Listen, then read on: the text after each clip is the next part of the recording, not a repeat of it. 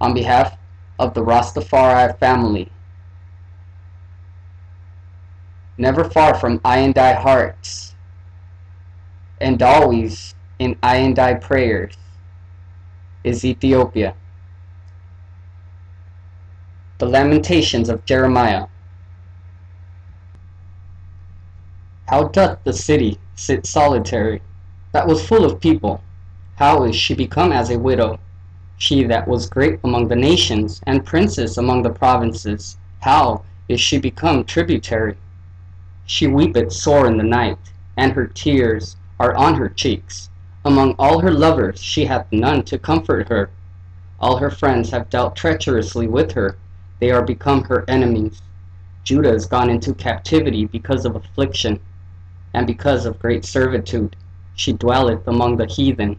She findeth no rest. All her persecutors overtook her between the straits. The ways of Zion do mourn, because none come to the solemn feast. All her gates are desolate. Her priests sigh.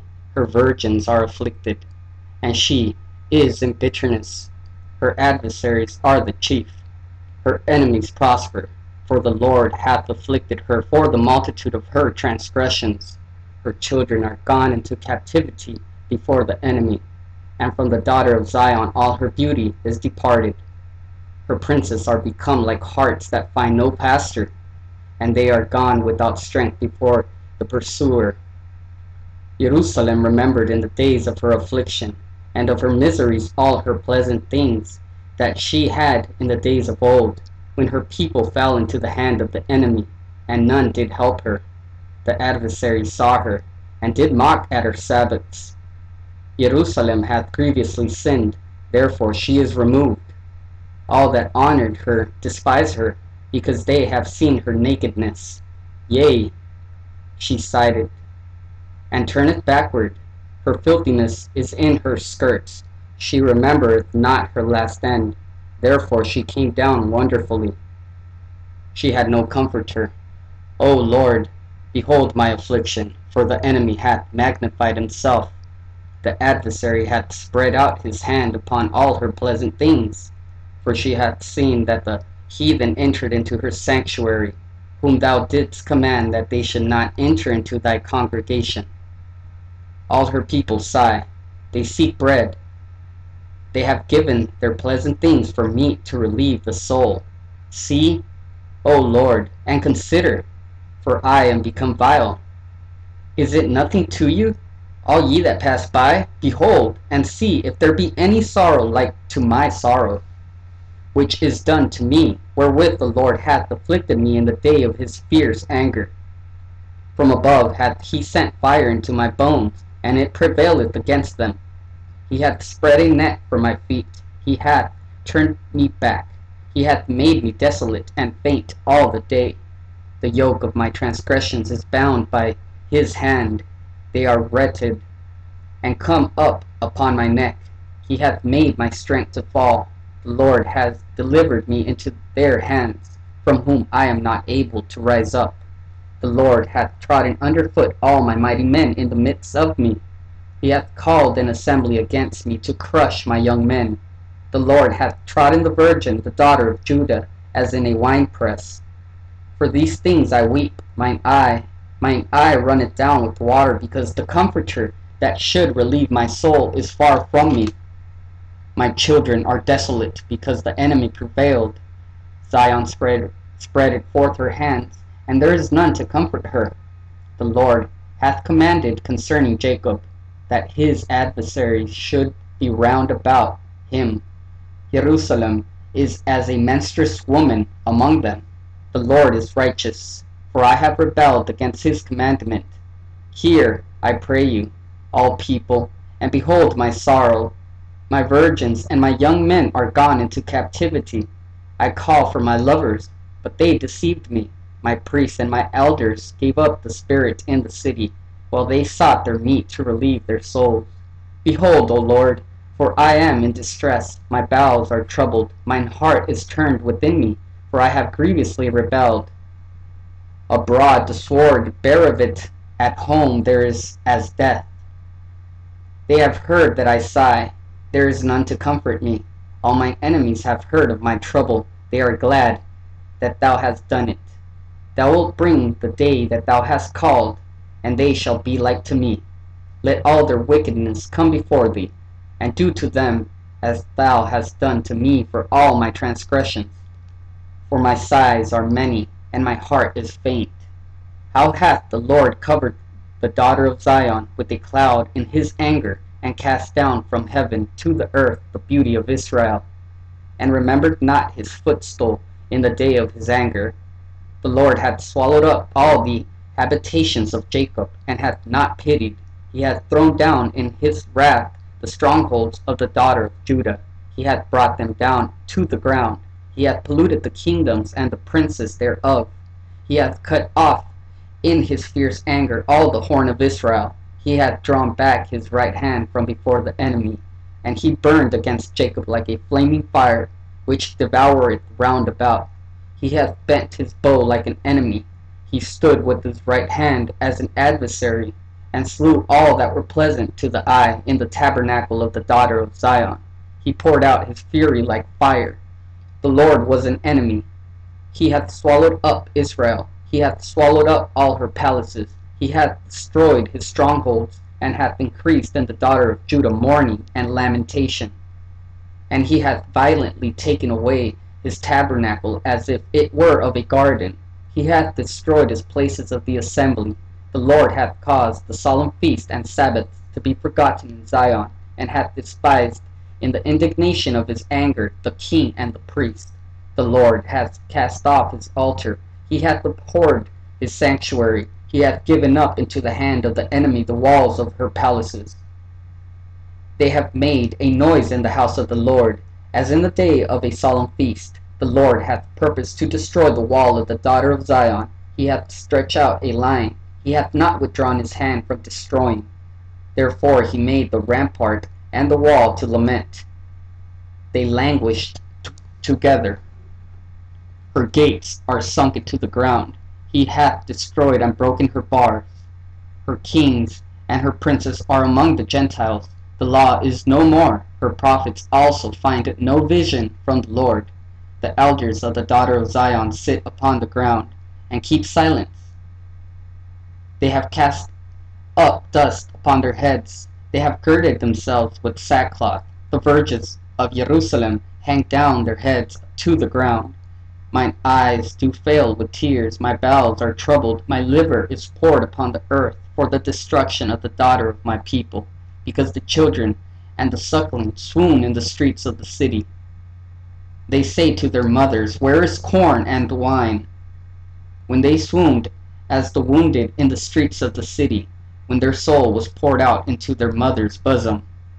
What things shall I take to witness for thee? What things shall I liken to thee, O daughter of Jerusalem? What shall I equal to thee, that I may comfort thee, O virgin daughter of Zion? For thy breach is great like the sea. Who can heal thee? Thy prophets have seen vain and foolish things for thee, and they have not discovered thine iniquity to turn away thy captivity, but have seen for thee false burdens and causes of banishment. All that pass by clap their hands at thee, they hiss and wag their head at the daughter of Jerusalem, saying, Is this the city that men call the perfection of beauty, the joy of the whole earth. All mine enemies have opened their mouth against thee. They hiss and gnash the teeth. They say, We have swallowed her up. Certainly this is the day that we looked for. We have found, we have seen it. The Lord hath done that which he had devised. He hath fulfilled his word that he had commanded in the days of old. He hath thrown down and hath not pitied, and he hath caused thine enemy to rejoice over thee. He hath set up the horn of thine adversaries. Their heart cried to the Lord, O wall of the daughter of Zion, let tears run down like a river day and night. Give thyself no rest, let not the apple of thine eye cease. Arise, cry out in the night. In the beginning of the watches, pour out thine heart like water before the face of the Lord. Lift up thine hands towards the life of thy young children that faint for hunger in the top of every street. Behold, O Lord, and consider to whom thou hast done this. Shall the women eat their fruit, and children of a span long? Shall the priest and the prophet be slain in the sanctuary of the Lord? The young and the old lie on the ground in the streets. My virgins and my young men are fallen by the sword. Thou hast slain them in the day of thine anger. Thou hast killed and not pitied. Thou hast called as in a solemn day my terrors round about, so that in the day of the Lord's anger none escaped nor remained. Those that I have swaddled and brought up hath mine enemy consumed. I am the man that hath seen affliction by the rod of his wrath. He hath led me and brought me into darkness, but not into light. Surely against me is he turned. He turned his hand against me all the day. My flesh and my skin hath he made old. He hath broken my bones. He hath builded against me, and compassed me with gall and travail. He hath set me in dark places, as they that be dead of old. He hath hedged me about, that I cannot get out. He hath made my chain heavy. Also when I cry and shout, he shut it out my prayer. He hath enclosed my ways with hewn stone. He hath made my path crooked. He was to me as a bear lying in wait, and as a lion in secret places. He hath turned aside my ways, and pulled me in pieces. He hath made me desolate. He hath bent his bow, and set me as a mark for the arrow. He hath caused the arrows of his quiver to enter into my reins. I was a derision to all my people, and their song all the day. He hath filled me with bitterness. He hath made me drunken with wormwood. He hath also broken my teeth with gravel stones. He hath covered me with ashes. And thou hast removed my soul far off from peace. I forgot prosperity. And I said, My strength and my hope is perished from the Lord. Remembering mine affliction and my misery, the wormwood and the gall, my soul hath then still in remembrance, and is humbled in me. This I recall to my mind. Therefore have I hoped. It is of the Lord's mercies that we are not consumed, because his compassions fail not. They are new every morning. Great is thy faithfulness. The Lord is my portion, saith my soul. Therefore will I hope in him. The Lord is good to them that wait for him, to the soul that seeketh him. It is good that a man should both hope and quietly wait for the salvation of the Lord. It is good for a man that he bear the yoke of his youth. He sitteth alone and keepeth silence, because he hath borne it upon him. He putteth his mouth in, in the dust. If so be there may be hope. He giveth his cheek to him that smiteth him. He is filled full with reproach, for the Lord will not cast off for ever. But though he cause grief, yet will he have compassion according to the multitude of his mercies. For he doth not afflict willingly, nor grieve the children of men, to crush under his feet all the prisoners of the earth, to turn aside the right of a man before the face of the Most High, to subvert a man in his cause, the Lord approve it not. Who is he that said, and it cometh to pass, when the Lord commanded it not?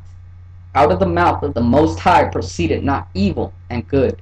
Wherefore doth a living man complain, a man for the punishment of his sins? Let us search and try our ways, and turn again to the Lord. Let us lift up our hearts with our hands to God in the heavens. We have transgressed and have rebelled, thou hast not pardoned. Thou hast covered with anger and persecuted us. Thou hast slain and hast not pitied. Thou hast covered thyself with a cloud that our prayers should not pass through. Thou hast made us as the offscouring and refuse of midst of the people. All our enemies have opened their mouths against us. Fear and a snare is come upon us.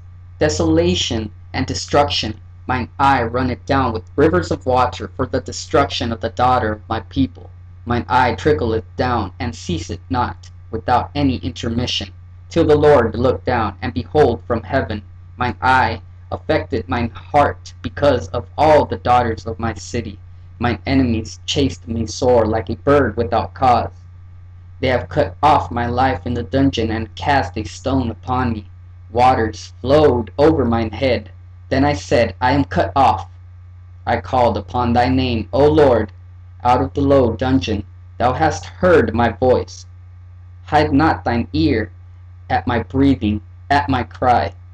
Thou drewest near in the day that I called upon thee. Thou saidst, Fear not. O Lord, thou hast pleaded the cause of my soul. Thou hast redeemed my life. O Lord, thou hast seen my wrong. Judge thou my cause. Thou hast seen all their vengeance and all their imaginations against me. Thou hast heard their reproach, O Lord, and all their imaginations against me, the lips of those that rose up against me, and their device against me all the day. Behold, their sitting down, and their rising up. I am their music. Render to them a recompense, O Lord, according to the work of their hands. Give them sorrow of heart. Thy curse to them, persecute and destroy them in anger from under the heavens of the Lord. How is the gold become dim? How is the most fine gold changed? The stones of the sanctuary are poured out into the top of every street. The precious sons of Zion, comparable to fine gold, how are they esteemed as earthen pitchers, the work of the hands of the potter. Even the sea monsters draw out the breast, they give suck to their young ones. The daughter of my people is become cruel, like the ostriches in the wilderness. The tongue of the sucking child cleaveth to the roof of his mouth for thirst. The young children ask bread, and no man breaketh it to them. They that did feed delicately are desolate in the streets. They that were brought up in scarlet embrace dunghills. For the punishment of the iniquity of the daughter of my people is greater than the punishment of the sin of Sodom. That was overthrown as in a moment, and no hand stayed on her. Her Nazarites were purer than snow, they were whiter than milk. They were more ruddy in the body than rubies, their polishing was of sapphire. Their vestige is blacker than a coal. They are not known in the streets. Their skin cleaveth to their bones. It is withered. It is become like a stick. They that be slain with the sword are better than they that be slain with hunger. For these pine away, stricken through for want of the fruits of the field. The hands of the pitiful woman have sodden their own children. They wear their meat in the destruction of the daughter of my people. The Lord hath accomplished his fury. He hath poured out his fierce anger, and hath kindled a fire in Zion, and it hath devoured the foundations thereof. The kings of the earth and all the inhabitants of the world would not have believed that the adversary and the enemy should have entered into the gates of Jerusalem. For the sins of her prophets and the iniquities of her priests, they have shed the blood of the just in the midst of her. They have wandered as blind men in the streets. They have polluted themselves with blood so that men could not touch their garments. They cried to them, Depart ye. It is unclean. Depart, depart. Touch not. When they fled away and wandered, they said among the heathen, they shall no more sojourn there. The anger of the Lord hath divided them, he will no more regard them. They respected not the persons of the priests, they favored not the elders.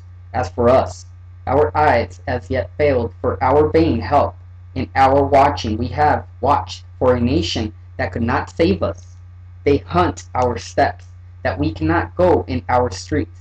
And our end is near, our days are fulfilled, for our end is come. Our persecutors are swifter than the eagles of the heaven. They pursued us upon the mountains. They laid wait for us in the wilderness. They, the breath of our nostrils. The anointed of the Lord was taken in their pits, of whom we said, Under his shadow we shall live among the heathen. Rejoice and be glad, O daughter of Edom, that dwellest in the land of Uz. The cup also shall pass through to thee Thou shalt be drunken and shalt make thyself naked. The punishment of thine iniquity is accomplished. O daughter of Zion, he will no more carry thee away into captivity. He will visit thine iniquity. O daughter of Edom, he will discover thy sins. Remember, O Lord, what is come upon us. Consider and behold our reproach. Our inheritance is turned to strangers, our houses to aliens. We are orphans and fatherless. Our mothers are as widows. We have drunken our water for money. Our wood is sold to us. Our necks are under persecution. We labor and have no rest. We have given the hand to the Egyptians and to the Assyrians to be satisfied with bread. Our fathers have sinned and are not, and we have borne their iniquities. Servants have ruled over us. There is none that doth deliver us out of their hand. We got our bread with the peril of our lives because of the sword of the wilderness. Our skin was black like an oven because of the terrible famine. They ravaged the woman in Zion and the maids in the city of Judah. Princes are hanged up by their hand. The faces of the elders were not honored. They took the young men to grind, and the children fell under the wood. The elders have ceased from the gate, the young men from their music. The joy of our heart is ceased, our dance is turned into mourning. The crown is fallen from our head. Woe to us that we have sinned! For this our heart is faint. For these things our eyes are dim, because of the mountain of Zion, which is desolate, the foxes walk upon it. Thou, O Lord, remainest forever, thy throne from generation to generation. Wherefore dost thou forget us forever? and forsake us so long time. Turn thou us to thee, O Lord, we shall be turned, renew our days as of old. But thou hast utterly rejected us, thou art very wroth against us.